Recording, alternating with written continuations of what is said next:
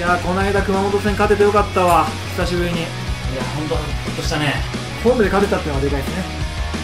シオンも点決めてくれたんでまた一皮むけるんじゃない？ラッキーボーイになってほしいね。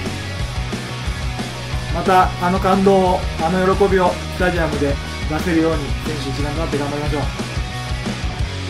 4月21日土曜日3時キッ分インジニアスタジオに集まれ。